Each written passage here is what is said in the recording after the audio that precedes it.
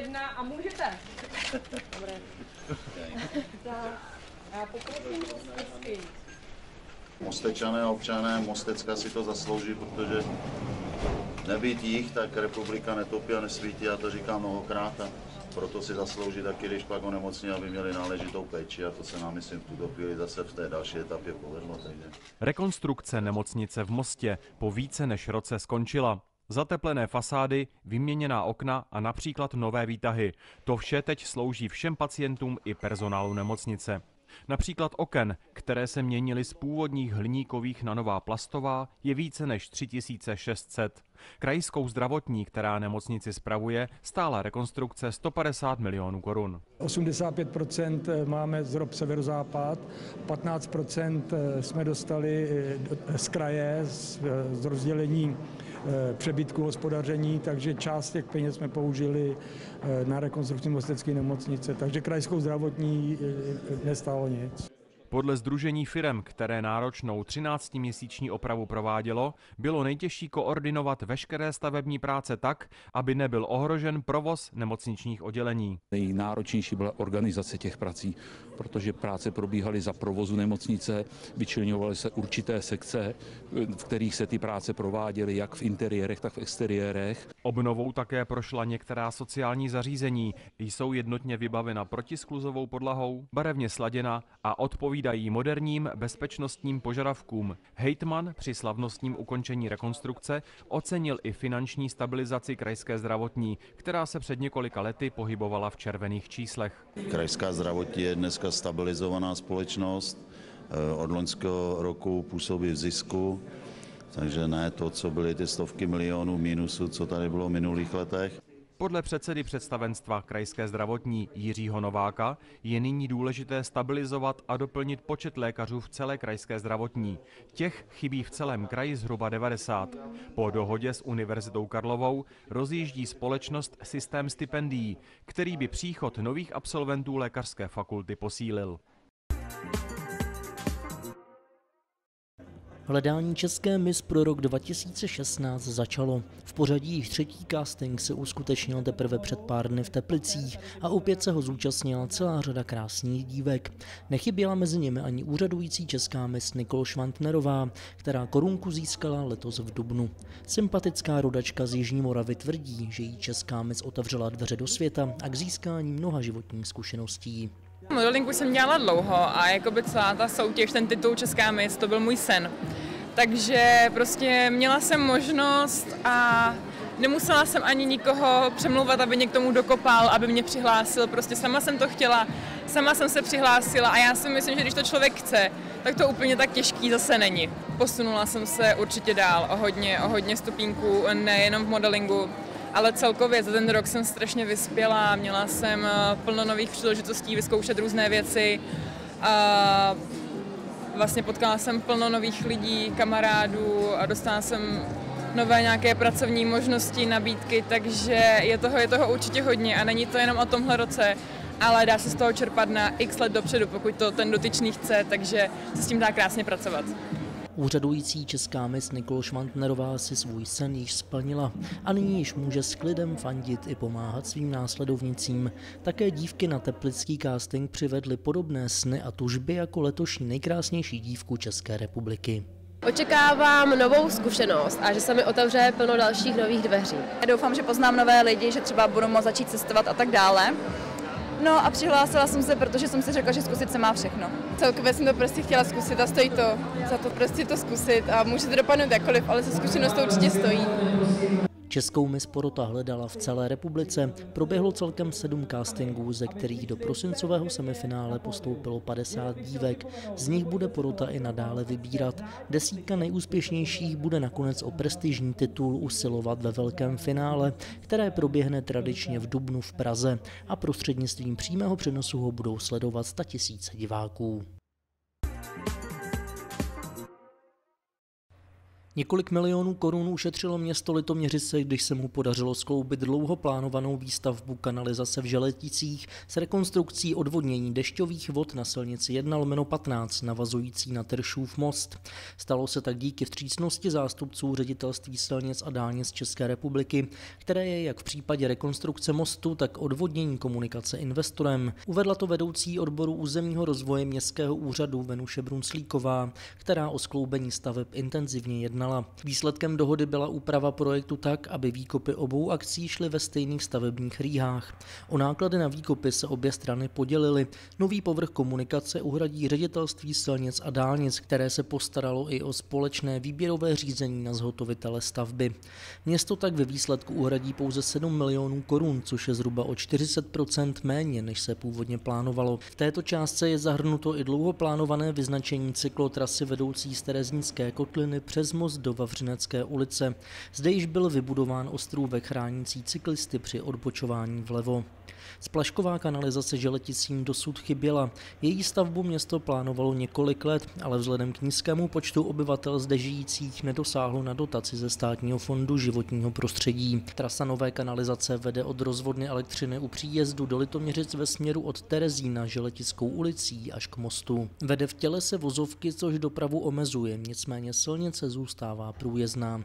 Výstavba kanalizace v Želeticích začala v srpnu a dokončena má být na jaře příštího roku. Poté bude vozovka od Tyršova mostu až po odbočku na Terezínskou kotlinu sfrézována a položen zde bude nový asfaltový povrch. Knihovně Karla Hinka Máchy proběhlo vyhodnocení kampaně místa v Litoměřicích Přátelská rodině, do které se letos zapojilo 77 rodin. Drobným dárkem byly oceněny čtyři z nich. Místo starosta Pavel Grund také veřejně poděkoval zástupkyni ředitele knihovny Zorce Čuchalové za koordinaci celé kampaně. Ze 77 rodin 124 dětí se, se zúčastnilo jednotlivých aktivit, které připravily různé neziskové nebo příspěvkové organizace města Litoměřice a e, celkem bylo 28 aktivit. Tyto aktivity byly hodně závislé i na počasí, protože vlastně bylo to, e, ta akce byla docela rozsáhlá. Začínali jsme 1. května za majhového reštíku, ale potom už další aktivity, například Dundun, jako je africké odpoledne nebo letní, letní výlety s knihovnou, byly naopak za velkého vedra, takže myslím, že jsme si užili jakékoliv počasí. A akce byly pěkné, soutěže eh, se vlastně vydařily, byla velká, velká návštěvnost a vlastně celou tuto kampaň připravila eh, skupina komunitního plánování pro rodinu, děti a mládež. Šanci na výhru v soutěži měly rodiny s dětmi, které se zúčastnily alespoň deseti akcí. Projekt má za cíl motivovat litoměřické rodiny k aktivnímu trávení volného času a také jim přiblížit místa a instituce, které se práci s rodinami a dětmi věnují. Seriál akcí každoročně probíhá v rámci kampaně 30 dní pro neziskový sektor.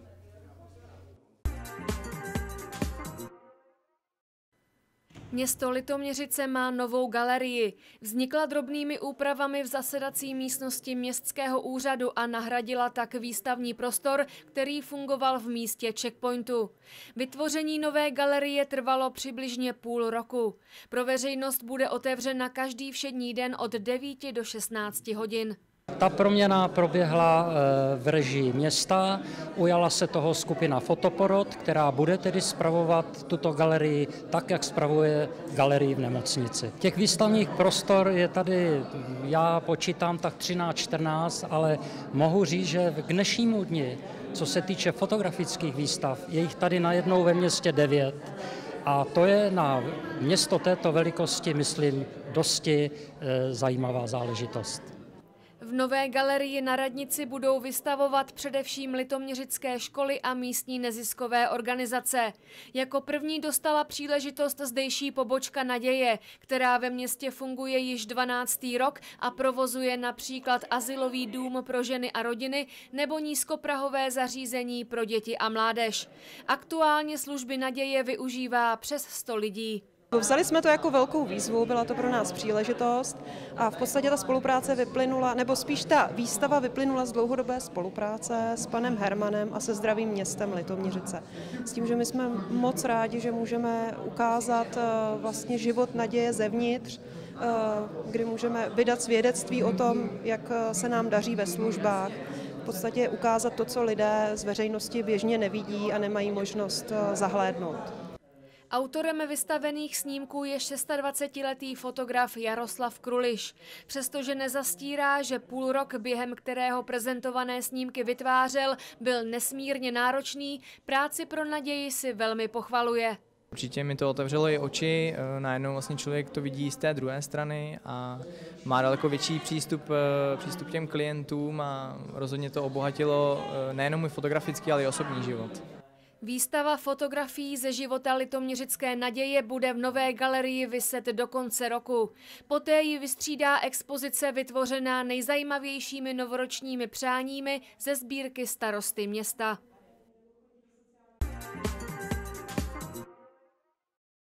Město Lovosice by mohlo získat z Brusu nové multifunkční hřiště, a to zcela bez finanční spoluúčasti města. Musí ovšem uspět v grantovém řízení nadace ČES, která svá oranžová hřiště staví po celé republice už od roku 2003. My samozřejmě jako město jsme nechali vytvořit eh, studii, nechali jsme vyjádřit ředitelé škol, kteří se to týká, vlastně, protože se nacházíme na, na pozemku nebo na hřišti, kde, kde působí jak, jak žáci, studenti gymnázia, tak základní školy eh, Antonína Baráka v Lovosicích, je dohromady asi 750, jo, z, toho, z toho ještě navíc eh, zde tráví volný čas žáci prvního stupně, kteří navštěvují školní družinou, takže eh, vůbec bylo potřeba to, eh, to prostředí a to okolí toho hřiště trošku skulturní. Jak jsme slyšeli před chvíli od paní ředitelky, bylo zbudováno v roce 1960, ze sam, eh, kdy byla vlastně postavena postavena škola, takže město se postavilo, jako se jedná o pozemky města, takže jsme nechali vytvořit projektovou kancelář studie a nyní se bude žádat o, o získání tohoto grantu.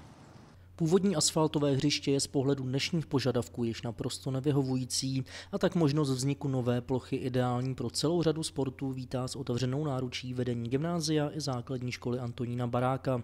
Budoucí uživatelé se také mohli přímo podílet na návrhu hřiště. Naše původní hřiště využíváme společně s gymnáziem Lovosice tak eh, ředitelé mohli mluvit do projektu, protože jsme jednak tělocvikáři a jednak víme, jak asi to hřiště nejlépe bude fungovat.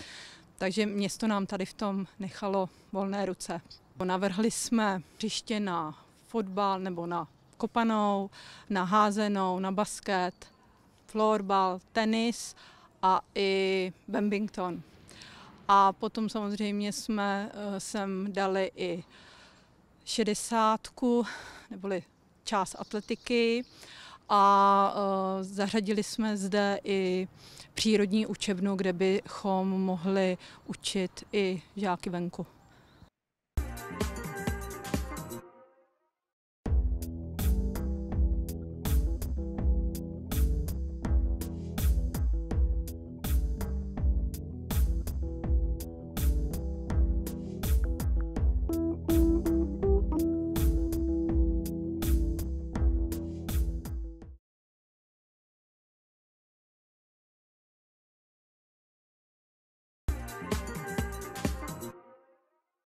Dáda Patrasová a Felix Slováček přichystali společné vánoční turné, které odstartuje 26. listopadu v Ústí nad Labem. Zábavná show pro děti Vánoce s Dádou vypukne v kinosále kulturního domu v 16 hodin a nadělí spoustu soutěží, písniček a povídání i s Žížalou Julií. V 19 hodin pak na stejném místě zahraje svůj vánoční gala koncert fenomenální big band Felixe Slováčka, který svým vystoupením podpoří také Felix Slováček mladší, a na Slováčková a zpěvačka Martina Bártová. Vstupné samostatně i na obě akce v předprodeji v síti Ticketstream nebo v místě konání akce.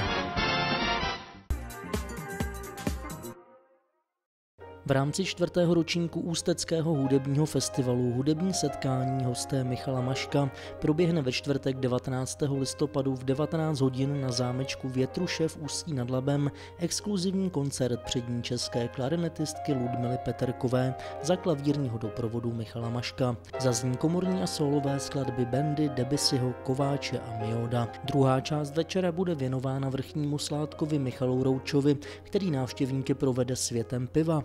Degustace vzácných druhů piv bude namíchána s improvizačními hudebními ukázkami. Informace o koncertu a festivalu naleznete na www.hudební-setkání.cz.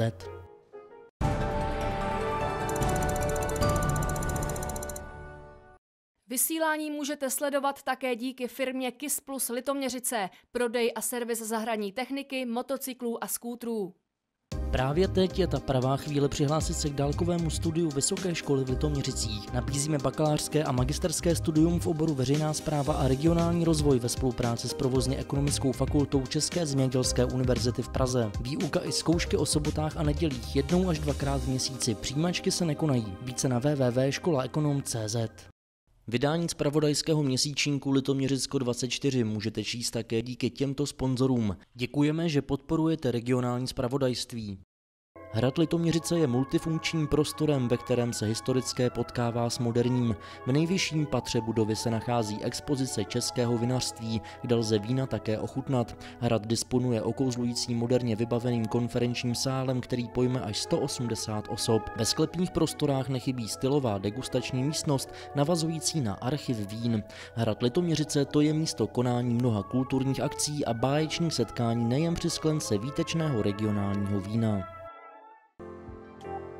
Památník Terezín, to je malá pevnost, muzeum Geta a Magdeburská kasárna, krematorium, kolumbárium, obřadní místnosti a ústřední márnice, modlitebna z doby terezínského Geta a replika mansardy, které tvoří unikátní památku obětí rasové a politické persekuce v letech nacistické okupace. Prohlídky, výstavy, dokumentární filmy, koncerty, semináře, výzkumná a vzdělávací činnost a mnoho dalšího. Památník Terezín, historie, která nesmí být zapomenuta.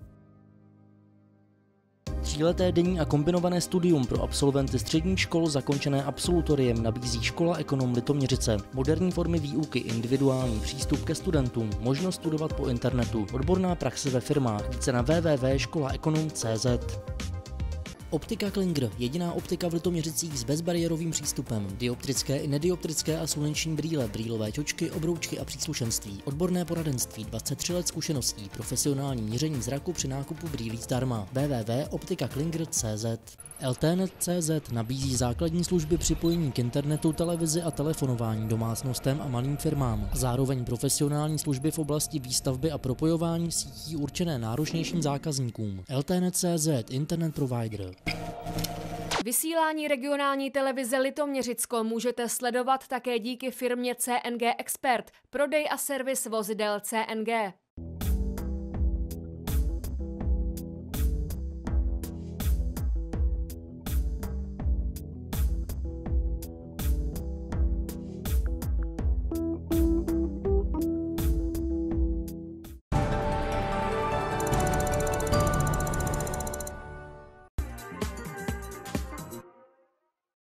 Ústí nad Labem oblíbená svatomartinská vína 11. listopadu přivítali degustací pod širým nebem. Celodenní slavnost s cymbálovou muzikou a dobrým pitím i občerstvením na Ledické náměstí přilákala stovky lidí. Akci si nenechala ujít ani primátorka města Věra Nechybová. Já jsem moc nadšená, že taková akce se u nás uskutečnila již po desáté. Doufám, že jí to vydrží další, další desítky let a je na Lidickém náměstí patrné zájem občanů, je vidět, kolik lidí vešlo do ulice, jak se baví a je to příjemné. První vína letošního ročníku, která tradičně vynikají především svěží a ovocitou chutí, se vinařům opravdu povedla. Potvrdil to i hejtman Ústeckého kraje Oldřich Bubeníček, který tuto akci velmi podporuje. Jednak si myslím, že je to hezká taková tradice, jednak je to ukázka, co naši vinaři umí vyrobit a já si myslím, že letošní počasí jim významně nahrálo, takže to víno je kvalitní. Důležité je, že se tady sešlo hodně lidí a že se lidi dobře baví. O tom, že se svatomartinská slavnost vydařila, není třeba pochybovat. Skvělá atmosféra, hudba příjemná, vínko dobré. No je to perfektní, akorát je hodně lidí jo, a málo stánků. Utratili se víc peněz. Kvalita vína je výborná, jsme tu teda poprvé a jsme moc spokojení. Svatomartinskou veselici na Lidickém náměstí každoročně organizuje doktor Pavel Kacerovský, který v Litoměřicích pořádá i prestižní mezinárodní soutěž a prodejní výstavu vín s názvem Vinařské Litoměřice. Přestože tato akce se uskuteční až příští rok na jaře, dobrou zprávu má pro milovníky vína už teď. Já jsem dnes byl, byl přijat na návštěvě u pana prezidenta republiky, který vzal pod záštitu 14. ročník výstavy Vinařské Litoměřice a dal souhlas s tím, že opět šampion výstavy bude cena prezidenta České republiky. Šampion výstavy obdrží prezidentský pohár, z čehož máme velkou radost. Je to dobrá zpráva pro milovníky vína, pro vinaře i pro Ústecký kraj. Na nové parkoviště u autobusového nádraží v Litoměřicích, kde je k dispozici 8 desítek míst, byl instalován automat. Parkování zde totiž bylo od minulé soboty spoplatněno. Řidiči však mohou počítat s cenami finančně příznivějšími, než jsou v centru města. Na Mírovém náměstí stojí půl hodina 5 korun, jedna hodina 10, dvě hodiny 30 korun a každá další započatá pak 20 korun.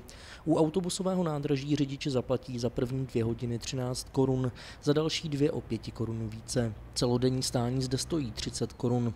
Platbu je přitom možné uhradit i prostřednictvím SMS. Podle místo starosty Pavla Grunda byly při stanovení taxi zohledněny hlavně potřeby lidí cestujících vlakem nebo autobusem do zaměstnání, kteří zde potřebují celý den parkovat. Se spoplatnění parkování na novém parkovišti vybudovaném v rámci projektu Litoměřice, modernizace a dostavba autobusového nádraží bylo počítáno již před podáním žádosti o dotaci z regionálního operačního programu Severozápad. Žádosti o dotaci a studii proveditelnosti projektu byl proto již kalkulovaný provozní příjem zohledněn.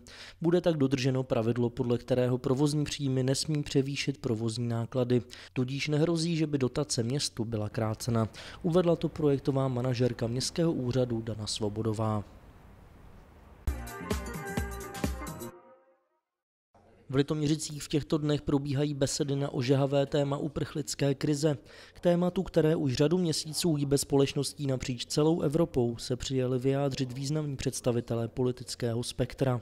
Ve čtvrtek se v restauraci La Karotka setkal se zájemci o diskuzi europoslanec Tomáš Zdechovský a už v úterý přijal pozvání do konferenčního sálu Litoměřického hradu ministr životního prostředí a člen Bezpečnostní rady státu Richard Brabec. Diskutovat s ním o problematice migrantů migrantů přišly desítky lidí. Bylo vidět, že ty lidi žijou jako tím problémem, že to asi není věc, která se řeší na vládě, ale dneska si troufám říct každý hospodě a že mají strachy. A ty strachy můžou být buď iracionální, anebo racionální. A já si myslím, že úkolem vlády v každém případě je, aby eh, ty strachy buď vyvrátila, pokud si myslí, že eh, pro ně není důvod, anebo aby ty lidi ujistila, že se něco dělá. Takže já jsem z toho měl hrozně dobrý pocit a tady jsem chtěl ujistit, že že my si prostě uvědomujeme, že to riziko tady prostě je a že by mohlo být ještě, ještě podstatně větší. Tam, kde troufám si říct, bohužel selhávají ty evropské mechanismy zatím, tak tam pak musí nastupovat ty mechanismy národní a já doufám, že se ta Evropa rozpohybuje a tam, kde prostě měla zasáhnout už před rokem a to, co se mělo rozjet, evropské instituce a ten systém, takže se prostě teďka rozjede už pod čím dál tím větším tlakem, jinak se budeme Jinak prostě se nadějeme neblahých konců, třeba i toho, že prostě při těch příštích volbách můžou uspět eh, politické subjekty, které bychom tady neradi viděli. A mm, ještě před několika málo měsíci jsme si neuměli představit, že, že by tu vládu třeba potom převzali. Ministr Brabec také zdůraznil, že je důležité okamžitě dementovat poplašné zprávy v médiích a na sociálních sítích, které do společnosti vnášejí strach, nejistotu a xenofobní náladu. Rovněž se pozastavil nad na první pohled méně viditelnou skutečností, že totiž migrační krize může přímo souviset i se životním prostředím. Litoměřice, které patří k republikové špičce v otázce globální odpovědnosti a jsou například vůdčím městem v programu Fairtrade, možná již v tuto dobu ovlivňují celosvětové migrační problémy budoucnosti v době klimatických změn a bohužel toho, co nás může čekat v těch příštích několika desítkách let, zásadní nedostatku vody v některých regionech, tak prostě to s tou migrační krizí strašně souvisí. Už dneska to s ní souvisí a bude to s ní souviset. A ten svět by v ideálním případě tu svoji odpovědnost globální měl prostě uchopit takto a pomáhat tam v těch zemích původu, protože jinak bohužel vždycky hasíme akorát ten požár a, a když se rozhoří, tak už je to velmi obtížné hasit. Poslední beseda na téma uprchlické krize proběhne ve středu 18. listopadu v sále multifunkčního prostoru Okamžik za účasti senátora Hasana Meziana. Zatímco v Litoměřickém hradu lidé po celý den ochutnávali svatomartinská vína a speciality, knihovna Karla Henka Máchy se 11. listopad rozhodla oslavit tradičním zábavným odpolednem pro rodiny s dětmi. Svatého Martina tady přivítali řadou soutěží, mezi kterými nechybělo například házení zlaté podkovy na terč či kvíz plný svatomartinských pranostik. Vyvrcholením akce byl populární lampionový průvod směřující na Domské náměstí. Celé odpoledne vlastně od dvou hodin jsme vyráběli lampiony, a, které použijeme v průvodu, který vyrazí od knihovny v 6 hodin, no a pak už je ten program vlastně stejný jako každý rok, takže průvod dojde na Domské náměstí, kde mm, diváci uvidí scénu setkání žebráka se svatým Martinem, kdy se s ním podělí o plášť a potom na, v katedrále bude mluvit probošt litoměřický, který vlastně vysvětlí dětem z legendy, co k Martinu vyvážou a prostě promluví, promluví dětem. Děkuju, pane, děkuju, pane, můžu vám políbit koně? Můžete, žebráku. Kam ho mám políbit? Kam bys si chtěl koníčku? Na úško? Na tvářičku? Na tvářičku. Tak na tvářičku. Na tvářičku. Jak se jmenuje váš kůň, pane? Ten, ten bílý kůň samozřejmě. Týna se jmenuje. Týna? No jo. Tak Týno, já ti dám pusinku, protože máš tak hodného pána, ano?